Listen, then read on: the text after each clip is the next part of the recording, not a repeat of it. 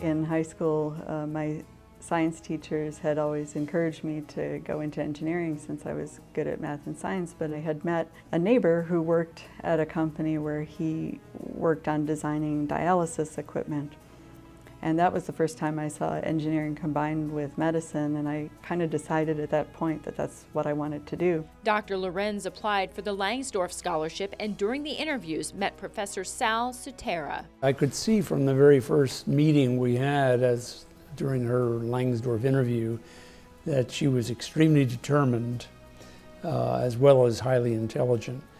And, um, and she had uh, ambitions which were high but, but very uh, realistic. Dr. Lorenz graduated from Washington University in St. Louis in 1986 with her BS in mechanical engineering. It was while she was attending graduate school at Vanderbilt University that she discovered her true passion imaging research. I was studying for my master's in mechanical engineering, but I still was passionate about seeing how I could apply this to medicine. So I just wandered over to the medical center and uh, knocked on doors until people talked to me. The trip to the medical center led her to pediatric cardiology. Coincidentally, MRI, magnetic resonance imaging, was just taking hold around the same time.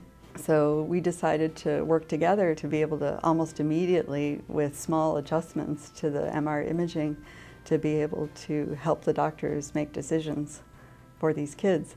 And so I think my whole career in imaging has been about using uh, sometimes one form of imaging, sometimes multiple forms of imaging, to try to figure out how to make um, life better, easier, or safer for patients. Lorenz then returned to St. Louis to take a faculty post at the Washington University School of Medicine's Cardiovascular Division. During her tenure, Dr. Lorenz longed to make a broader impact in the healthcare industry.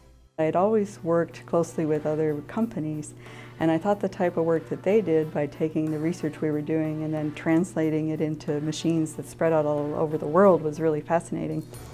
And so anyway, to make a long story short, after I got tenure at, at WashU in cardiology, I um, took a leap and moved with Siemens to London in the United Kingdom. She is currently the Vice President of Research and Clinical Collaborations at Siemens Healthcare, but this pioneer in the field of medical imaging also serves to pave the way for future engineers by giving back to the university and leading by example. Christine has done a lot of things, starting with just being a mechanical engineer, uh, because it's not the first career choice that uh, you know girls or young women think about. Um, but you know, she did it. She took it in stride, and uh, and then took on leadership roles that um, have traditionally been reserved for for men.